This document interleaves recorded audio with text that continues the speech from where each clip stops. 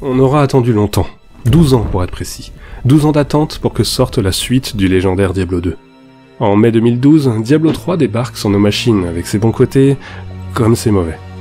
Une chose est sûre, c'est que ce troisième opus a apporté des choix audacieux et un parti pris graphique différent de ce que nous avaient habitués les deux premiers jeux. Tout comme son prédécesseur, le jeu prendra une toute autre dimension à la sortie de son extension, Reaper of Souls, en mars 2014. Une nouvelle histoire, une région inédite, avec un cadre plus sombre, le mode aventure, le jeu était enfin mûr. Mais grossièrement, ça raconte quoi, Diablo 3 Après avoir exploré les origines de Sanctuaire, puis l'histoire de Diablo 1 et 2, il est temps d'aborder le récit du troisième volet de cette saga mythique et de son extension. Accrochez-vous, il s'y passe beaucoup, beaucoup de choses, mais on va analyser tout ça tranquillement. Armez-vous de votre hache légendaire et de votre armure sertie de mille joyaux, et écoutez-moi vous raconter ce nouveau chapitre de l'histoire de Diablo.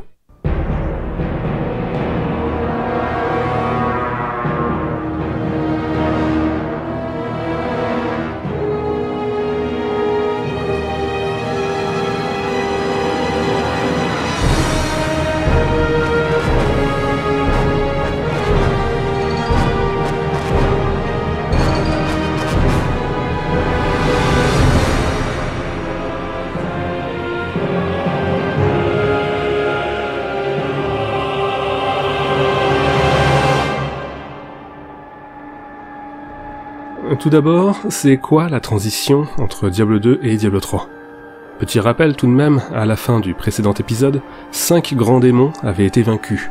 Les deux démons inférieurs, Andariel et Duriel, et les trois démons primordiaux, Mephisto, Diablo et Baal.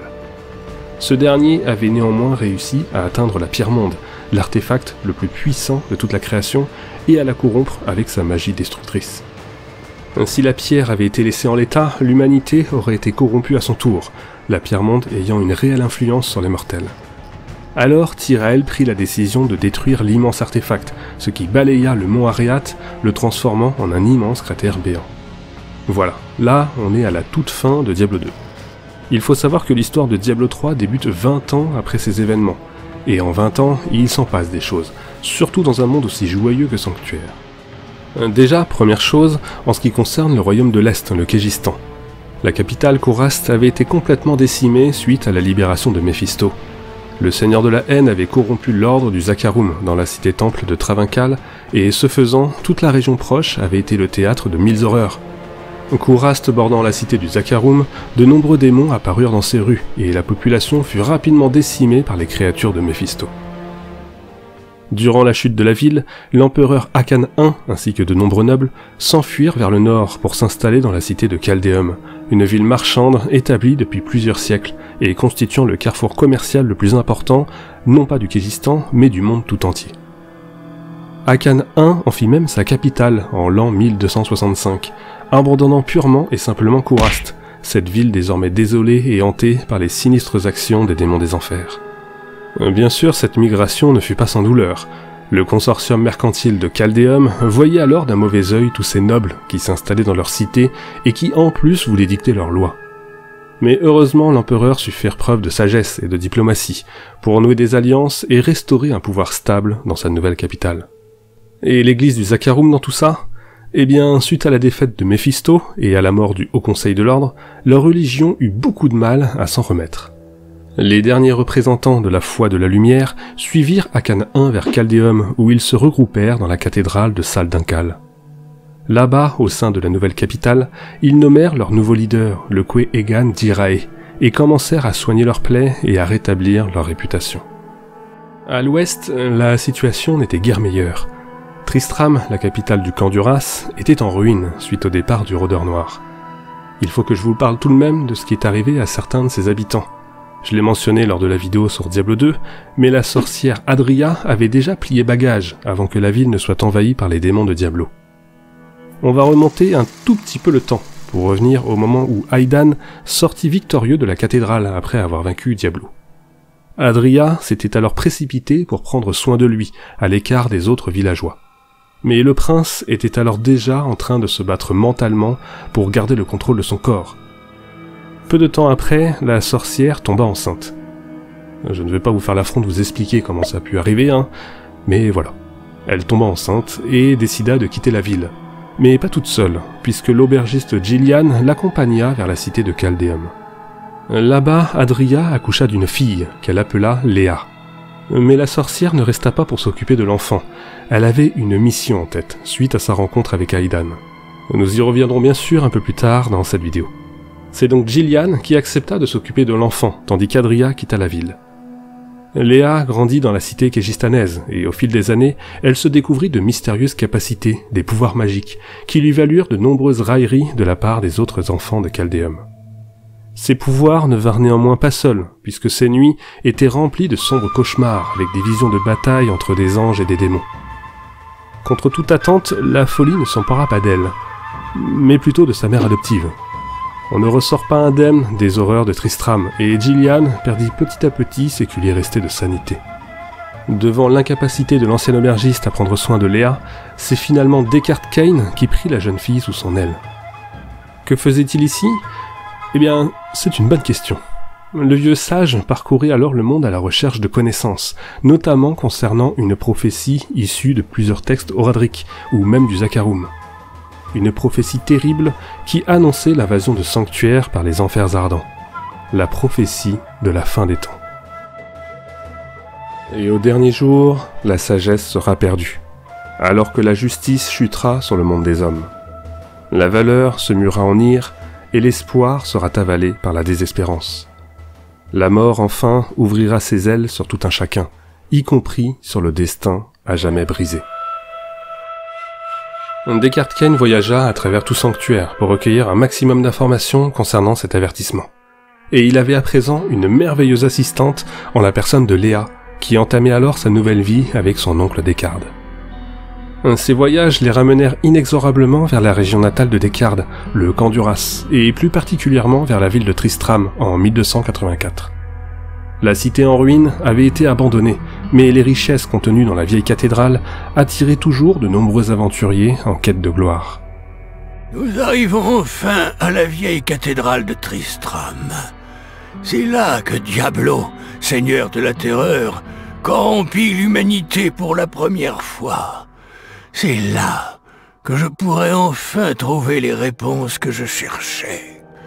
Léa s'inquiète pour ma sécurité, mais je crois pouvoir mettre au jour ici des informations indispensables à la victoire sur les derniers seigneurs des enfers.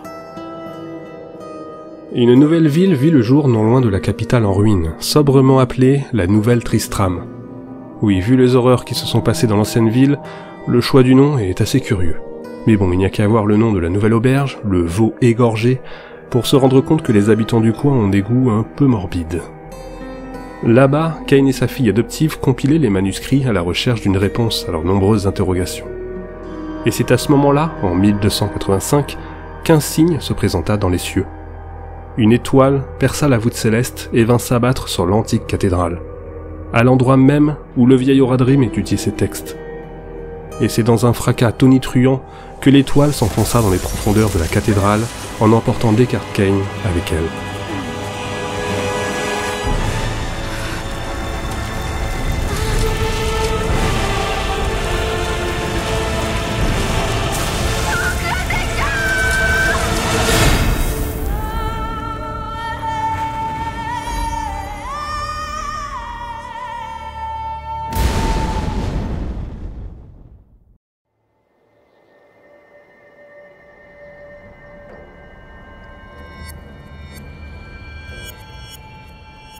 Notre histoire, à proprement parler, commence juste après la chute de la mystérieuse étoile sur la cathédrale de l'ancienne Tristram. Tel un fanal, un signal brillant tout autour de sanctuaire, elle avait attiré dans ces sombres contrées bon nombre d'aventuriers cherchant gloire et pouvoir. Parmi eux, on pouvait compter un féroce barbare venu des sommets enneigés et inhospitaliers du mont Aréat, une sorcière de la lointaine Xiansai au pouvoir arcanique aussi impressionnant qu'instable, un prêtre de Ratma, autrement connu comme nécromancien, est venu des tréfonds du Kégistan. Un étrange féticheur des jungles de Toraja, capable d'infliger de nombreuses infections et de prendre contrôle sur la vermine. Un croisé solitaire qui avait quitté le Zakharum pour parcourir le monde et purifier sa foi. Un chasseur de démons seulement motivé par la vengeance contre les forces des enfers, n'appartenant à aucune patrie, ne servant aucun roi, est venu d'Einsteg. Et finalement, un moine incarnant la volonté des mille et un dieux d'Ivgorod par sa pureté spirituelle et sa maîtrise martiale. À peine arrivés sur les lieux, les aventuriers constatèrent vite que l'étoile n'était pas le seul événement surnaturel à agiter la région. Des morts ranimés par une magie inconnue sortaient de terre en nombre tout autour de la petite bourgade isolée de la Nouvelle Tristram, forçant les habitants de cette dernière à se barricader du mieux qu'ils pouvaient pour contenir la menace. Les deux cataclysmes étaient-ils liés? Au sein de la petite ville, dans la lumière vacillante des bougies de la taverne, une jeune fille semblait quémander de l'aide. Il s'agissait de Léa, venue ici quérir l'aide de la milice déjà bien occupée pour secourir Descartes Kane, emporté sous terre par la chute du météore. C'est après avoir assuré la sécurité des abords de la bourgade qu'ils se lancèrent sur la route de la vieille ville en compagnie de Léa pour secourir le vieil homme. Malgré les circonstances, la jeune fille demeurait persuadée que ce dernier était encore en vie. Du cœur de la cathédrale, il ne restait plus qu'un cratère fumant, duquel émanait une étrange lumière. Si la chose était soupçonnée par les aventuriers auparavant, elle était maintenant très claire. Cette étoile n'était pas ordinaire. Il s'agissait d'un signe annonciateur de quelque chose de bien particulier. Et les contours de cette chose allaient bien vite se dessiner à mesure que nos protagonistes descendirent dans les catacombes sous la cathédrale. Comme relaté par la multitude de manuscrits entreposés ici, il s'agissait du lieu de repos de Léoric, que l'histoire de sanctuaire avait retenu sous le nom du Roi Noir, ancien chef du camp d'Uras, dont l'esprit avait été corrompu par Diablo et responsable de la terrifiante chute de la ville de Tristram dans les ténèbres. C'est alors que les aventuriers trouvèrent leur cible en un Descartes Kane bien vivant, fuyant un groupe de guerriers squelettes. Arrière Pourvu que ça tienne Mais derrière eux se trouvait la vraie menace, le roi squelette, réveillé de son long sommeil par la chute de l'étoile, tout comme sa profusion de serviteurs. Ce dernier était donc devenu un obstacle sur la route de l'étoile. Il devait être éliminé. La quête pour défaire le roi déchu fut l'occasion de croiser un certain nombre de vestiges du déclin funeste de la ville, en même temps que celui de l'esprit du roi, ainsi que de la trahison de Lagdanan résultant en sa première mort. C'est avec l'aide de Cormac le Templier que nos protagonistes arriveront à défaire Léoric, récupérer sa couronne et finalement atteindre l'étoile pour se rendre compte du fait que cette dernière était en fait un homme recroquevillé au milieu des pierres incandescentes. Je. J'étais. Je me souviens que je tombais. Mais qui es-tu alors? Que fais-tu ici? L'individu mystérieux était de toute évidence amnésique. Il fallut donc aller chercher son arme dans les terres environnantes. Car après tout, même sans information à donner, cet homme avait entraîné bien malgré lui une série d'événements qui ne pouvaient pas être accidentels. Il fallait qu'il retrouve sa mémoire, et peut-être bien que son épée aiderait à accomplir la chose. Après avoir longuement exploré les champs de la misère, les aventuriers arrivèrent à traquer le lieu de chute d'un fragment de l'épée, pour finalement être accueillis par des cultistes d'une cabale sans nom, obnubilés autour de l'artefact par un rituel malfaisant. Alors qu'ils étaient sur le point d'obtenir leur récompense, une apparition ailée se manifesta dans la caverne. Il s'agissait de Magda, maîtresse de la mystérieuse cabale, ayant jeté son dévolu sur les fragments de l'épée. Ces sbires ne faisaient pas le poids face à la force de notre compagnie, et la quête se poursuivit. Un second fragment de celle-ci se trouvait au fond d'un caveau, dont l'entrée n'était réservée qu'à des êtres possédant un pouvoir particulier, les Nephalem, faisant se poser aux aventuriers des questions sur la nature profonde de leur pouvoir. Un troisième se trouvait finalement dans le petit village de pêcheurs de Wortham, auquel notre groupe arriva trop tard. Le village était en flammes, le fragment disparu, et Magda avait finalement pris une longueur d'avance en faisant l'étranger Léa et Kane captifs. Elle révéla dans un discours mégalomaniaque servir Bélial, le seigneur du mensonge, et confirma l'importance capitale de l'épée ainsi que celle de l'étranger capable de la manier. Toute cette cruauté, ces massacres. Mais que représente l'épée pour vous? Pour moi, rien. Pour mon maître Bélial, absolument tout. Voir son oncle torturé par Magda était insupportable pour Léa, qui explosa dans une rage aussi violente qu'inattendue, surprenant même notre sorcière malfaisante, qui prit subitement la fuite en emportant l'homme amnésique avec elle. La poursuite de la cabale nous emmena par la suite dans les profondeurs du manoir de Léoric, où ce même groupe avait œuvré pour ressusciter une créature qui doit vous être familière, le boucher. Après un combat difficile, les éléments étaient enfin réunis. L'étranger, gravement blessé, prit finalement possession de l'épée Eldruin, et sa mémoire en même temps que ses capacités lui revinrent immédiatement. Il était Tyrael, ange de la justice. L'on apprendra bien vite que c'était suite à un désaccord avec le Conseil des Angiries que l'ange avait renoncé à son immortalité pour descendre des cieux et mener le combat en tant que et parmi les mortels.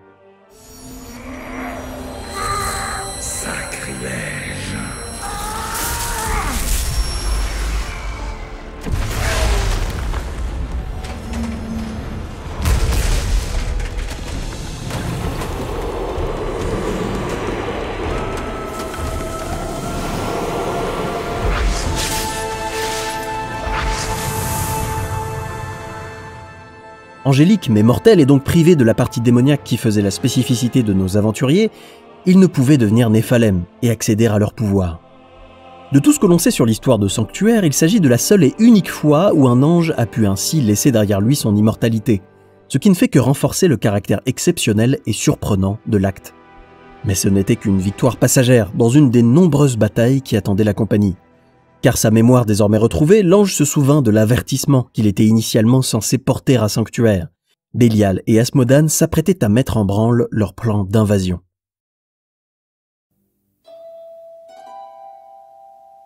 L'avertissement de Tyrael était comme un prémisse de la prophétie de la fin des temps. Les héros devaient aller combattre les deux grands démons restants. Mais avant cela, ils devaient faire leur deuil, car les derniers événements à la Nouvelle Tristram avaient provoqué une immense perte. Le vieux sage, Descartes Kane, le dernier des Horadrim, avait succombé aux tortures physiques de Magda. Le vieil homme, celui qui avait guidé tant d'aventuriers dans les différents combats contre Diablo et ses frères, n'était plus. Profondément meurtri par la perte de cet être si cher, Léa fit son deuil et endossa le rôle qu'incarnait son vieil oncle. Elle reprit son livre, ses notes, ainsi que sa volonté, et partit avec Tyrael et les héros Néphalem vers le Kégistan vers Magda. La sorcière travaillait pour le comte de Bélial, le seigneur du mensonge, et sa secte, la Kabbale, s'était installée à l'est proche de Chaldéum. Les aventuriers firent donc route vers la capitale du Kégistan afin de retrouver la sorcière dans sa planque, de se débarrasser de tous ses cultistes sur le chemin et de l'affronter. Magda pouvait bien faire preuve de dérision et de moquerie vis-à-vis des Néphalem, il n'empêche qu'elle se fit rosser. Voilà, ça, c'est pour Kane. Son oncle vengé, Léa retrouva ensuite sa mère Adria, qui opérait ses recherches aux alentours de Chaldéum. C'était un sacré moment pour la jeune fille, d'enfin connaître sa génitrice. Mais la sorcière n'était pas vraiment du genre maman poule. Léa, ma fille, Vous me connaissez? Ma chérie, j'ai veillé sur toi toute ma vie. Mais je n'ai jamais osé t'approcher à cause du danger qui me suit à la trace.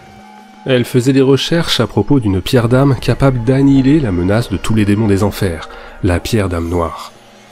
Il s'agissait d'une création de l'ancien Oradrim Zoldun Kul, et si vous voulez en savoir plus sur comment et pourquoi elle a été fabriquée, je vous renvoie vers l'épisode sur l'exil noir. Mais pour faire simple, la pierre d'âme noire fonctionne comme une pierre d'âme classique, celle forgée par Tyrell, c'est-à-dire qu'elle est capable d'absorber l'essence d'un démon et de le retenir prisonnier mais elle est beaucoup plus puissante. Déjà parce qu'elle est capable de retenir non pas une, mais plusieurs essences de démons, et en plus elle a la capacité de pouvoir emprisonner aussi les anges. À cause de sa folie, Zoltun Kul avait été abattu, puis démembré par ses confrères Oradrim. Mais pourtant, Adria avait besoin de lui pour retrouver et déverrouiller l'accès à ses archives où se trouvait la pierre. Là, vous vous dites sûrement, bah c'est mort du coup, Zoltun Kul est décédé. Oui et non.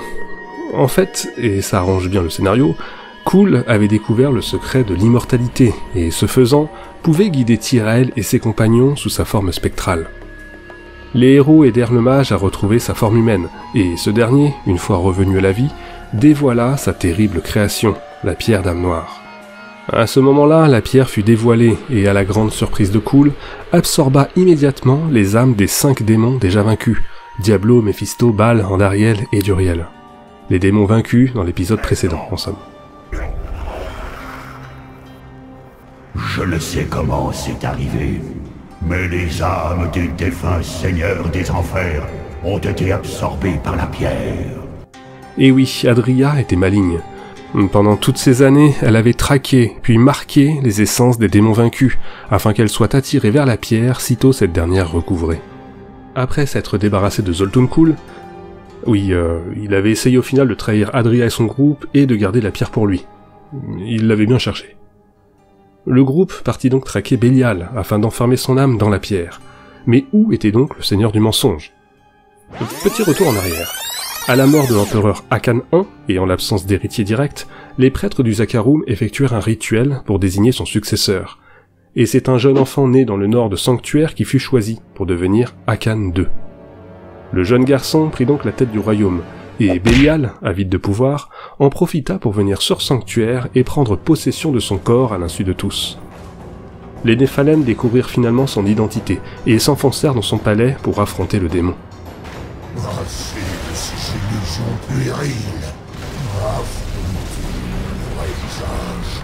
Seigneur des Enfers. Bélial combattit ses ennemis, mais au terme d'un âpre combat, fut défait et son âme aspirée dans la pierre noire. C'était fait. Il ne restait plus qu'un seul démon capable de menacer Sanctuaire, le seigneur du péché, Asmodan. Et autant Bélial était venu discrètement dans le monde des mortels, autant Asmodan avait une approche un peu plus bourrine. Depuis le cratère d'Ariat, là où gisait autrefois la montagne des barbares, l'armée du Seigneur du Péché se déversa et commença l'invasion de Sanctuaire. Toute la région du nord fut mise à sac. Un seul résistait le bastion de la Redoute, une forteresse érigée plusieurs siècles auparavant par un roi d'Ouestmarche. Asmodan lança un siège sur le bastion, mais heureusement pour les soldats y résidents, Tyrael, Adria, Léa et les Néphalem vinrent à leur secours. Ces derniers traversèrent l'armée du Seigneur du Péché, qui était, on ne va pas se mentir, très très très impressionnante, avec plein de grosses bêtes et de serviteurs bien plus qu'effroyables.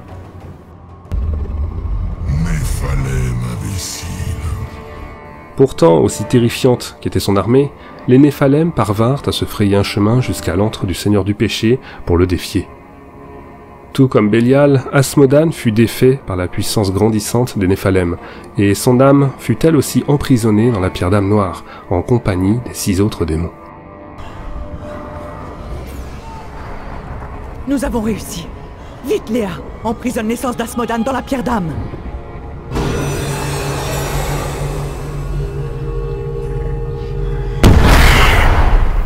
C'est fait Jamais je n'aurais osé en rêver. Tout le mal du monde est emprisonné dans cette pierre. Une fois qu'elle sera détruite, l'éternel conflit sera enfin terminé. Détruire la pierre d'âme n'aura rien d'aisé. Certains rituels sont nécessaires. Nous devons rentrer au donjon et terminer les derniers préparatifs.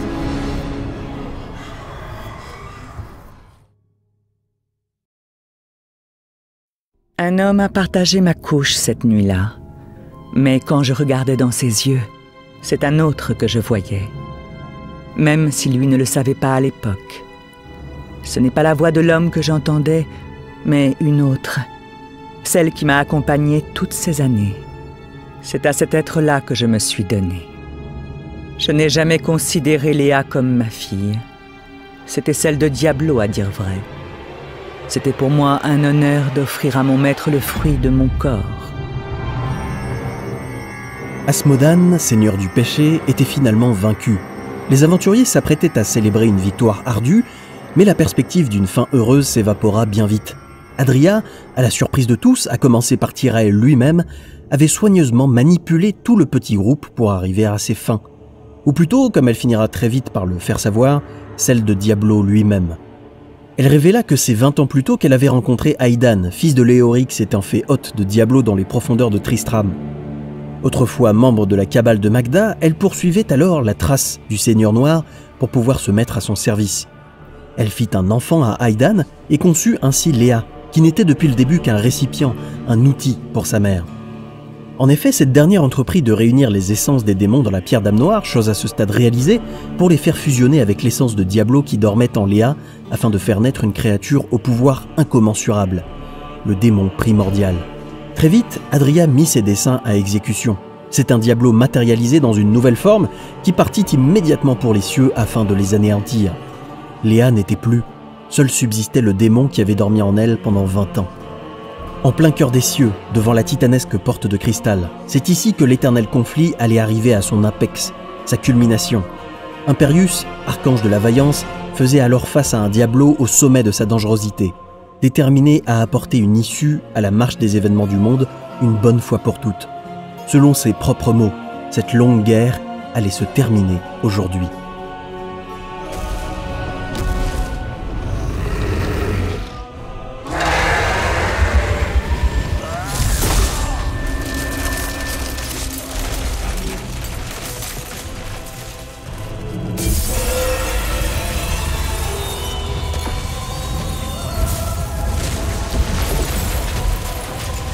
Puissance remarquable de l'archange n'était pas suffisante pour faire le poids face au démon primordial, qui triompha de son ennemi, détruisit les portes de diamant et ouvrit la voie pour l'armée démoniaque qui le suivait. C'est juste après tout cela que les Néphalem arrivèrent à l'Arche de Cristal, alors que Diablo avait une sacrée longueur d'avance sur eux. Avec la compagnie et les conseils d'Itéraël, archange du destin, et Oriel, archange de l'espoir, ils progressèrent tant bien que mal au sein des cieux qui, lentement, cédait à la corruption et à la destruction. Le ciel autour de nos aventuriers s'obscurcit à mesure qu'ils avançaient vers leur objectif. Diablo s'affairait en effet à détruire l'arche de cristal, diminuant la lumière des cieux vitale pour les anges. Ces derniers, maintenant grandement affaiblis, ne pouvaient plus compter que sur les Néphalem pour leur salut.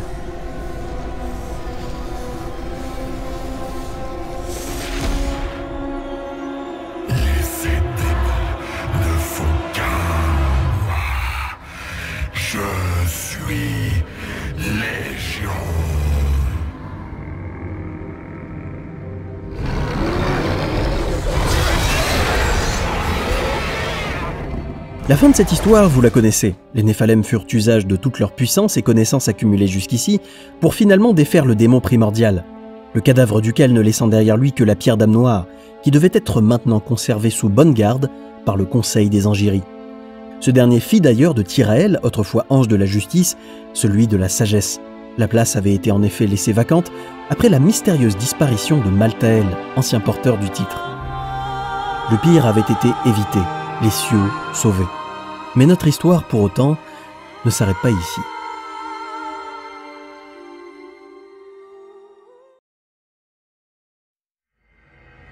La menace des grands démons avait enfin été écartée. Et à vrai dire, c'est même l'éternel conflit tout entier qui était terminé à ce stade. Tous les démons étaient emprisonnés dans la pierre d'âme noire. Les archanges prirent donc grand soin de mettre la pierre en sûreté au paradis, et tout semblait bien se terminer. Est-ce que c'était vraiment la fin? Vous vous en doutez?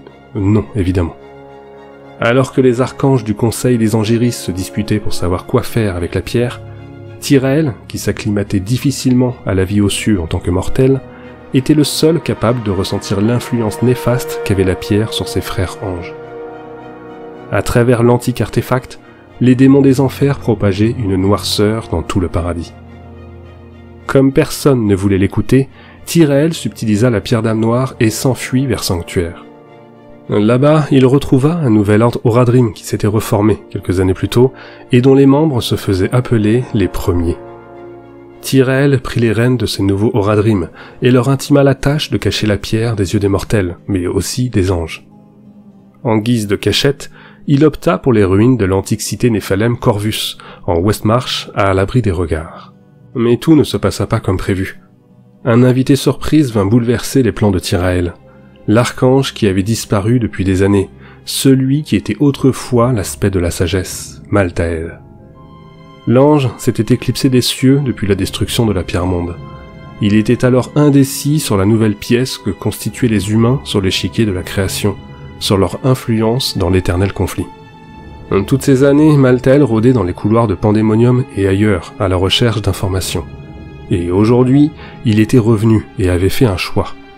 Maintenant que les âmes des derniers grands démons étaient scellées, les humains constituaient la dernière menace contre les anges. Ils devaient donc être exterminés. Maltael, devenu l'aspect de la mort, interrompit la procession de Tyrael et assassina ses Oradrim en l'an 1286. Seul un d'entre eux survécut au massacre, le Ratnar, et ce dernier partit prévenir les Néphalem de la nouvelle menace qui planait sur Sanctuaire.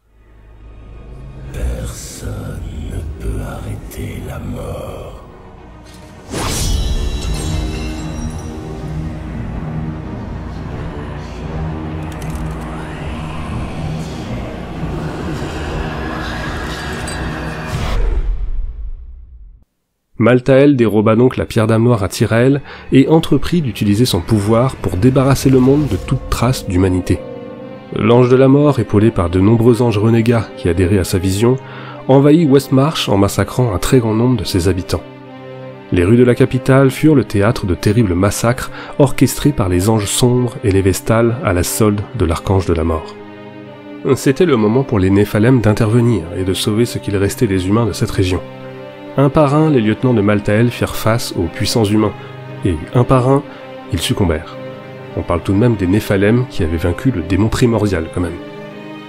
Le plus important à ce stade était de connaître les plans de Maltael, et une autre personne semblait connaître ses desseins, la sorcière Adria. Oui, depuis la défaite de son maître, Diablo, la traîtresse n'avait pas perdu espoir, et elle mettait tout en œuvre pour sauver le Seigneur de la Terreur et lui rendre sa liberté. Dans les plus sombres salles de la cité de Corvus, les Néphalem retrouvèrent leur ancien allié et apprirent où Maltael se cachait, à Pandémonium, le plan originel de la Pierre-Monde, entre les cieux et les enfers. Adria avait beau avoir révélé ces informations, elle restait une ennemie. Et elle était bien plus qu'une sorcière, ayant atteint une forme démoniaque à l'image de son sombre seigneur. Sans hésitation, les Néphalem se débarrassèrent d'elle et laissèrent son corps pourrir dans les ténèbres de la cité de Corvus. Avec l'aide de Tyrell et de Loratnar, les aventuriers devaient donc rejoindre Maltael à Pandémonium et stopper sa folie. Et c'était quoi sa folie exactement? Qu'est-ce qu'il faisait à Pandémonium avec la pierre d'âme noire? La raison est simple et quelque peu sinistre. L'ange de la mort était en train d'altérer la pierre d'âme afin que cette dernière consume toute essence démoniaque sur sanctuaire, Sachant que chaque âme humaine possède une partie démoniaque, ça sous-entend que ces dernières seraient ainsi inspirées dans la pierre. Un génocide, pour dire les termes. Les Néphalem se précipitèrent donc dans la forteresse millénaire pour confronter Maltael, et un combat décisif s'engagea alors.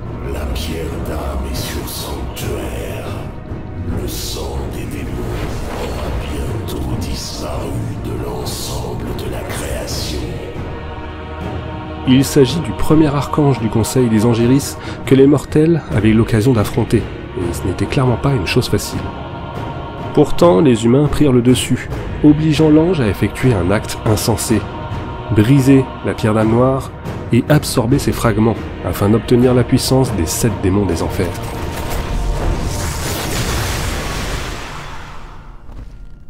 Malgré cette folie, l'ange fut vaincu par les héros mortels, mettant ainsi fin à la menace qui planait au-dessus des humains de sanctuaire. Devant les yeux ébahis de Tyrael, les Néphalem avaient encore une fois triomphé et montré des pouvoirs incroyables.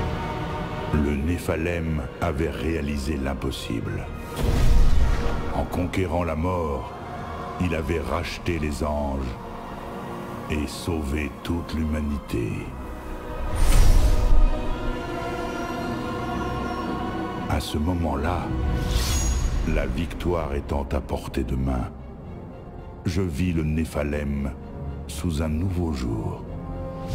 C'est un héros capable de vaincre les champions des cieux et des enfers, et un sorcier qui protège les innocents.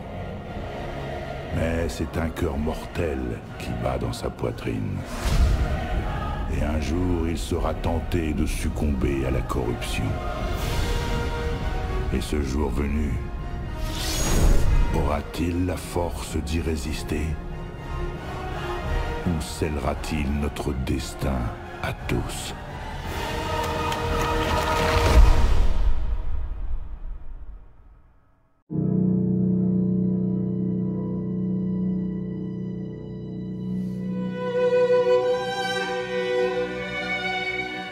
Le monde avait été sauvé, mais les actes de Maltael avaient eu de lourdes conséquences. Il avait opéré un véritable carnage sur la population humaine de Sanctuaire. Beaucoup périrent lors de son invasion. En vérité, il ne restait que peu d'hommes ou de femmes sur ce monde, et Sanctuaire entra dans une ère de décadence, remplie de guerres et de famines à travers tout le territoire. Mais pire encore, en brisant la pierre d'âme noire, Maltael avait permis aux sept grands démons des enfers de se libérer. Nul ne savait quand ces derniers réapparaîtraient. Est-ce que Sanctuaire, désormais lourdement affligé, était toujours une convoitise pour eux? Nous le saurons, puisque cinquante années plus tard, de nouvelles menaces allaient bouleverser l'humanité, qui verrait également le retour des créateurs de sanctuaires, l'ange de la lumière Inarius et la fille de la haine, Lilith. Merci à tous d'avoir regardé cette vidéo jusqu'au bout. Vous l'aurez remarqué, c'était un chapitre un peu plus long que les précédents, mais Diablo 3 implique plein de choses, avant le jeu, pendant, et bien entendu, après. Je voudrais remercier Nostalgeek pour sa participation à l'élaboration de cette vidéo. C'est un immense honneur d'avoir raconté cette histoire en sa compagnie. Si jamais vous n'aviez pas encore eu l'occasion de voir le travail de ce monsieur bourré de talent, je vous encourage chaudement à aller voir sa chaîne, l'une des meilleures chaînes YouTube, si vous me demandiez mon avis, consacrée aux jeux vidéo et à l'art. Le lien est en description, vous pouvez cliquer sans crainte. Cette série de vidéos n'est pas terminée, puisque Diablo 4 arrive à grands pas, et oui, en tout cas à l'heure où j'enregistre cette vidéo.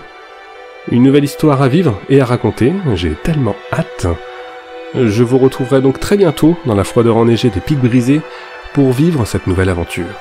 Je vous dis donc à très bientôt, prenez soin de vous, salut.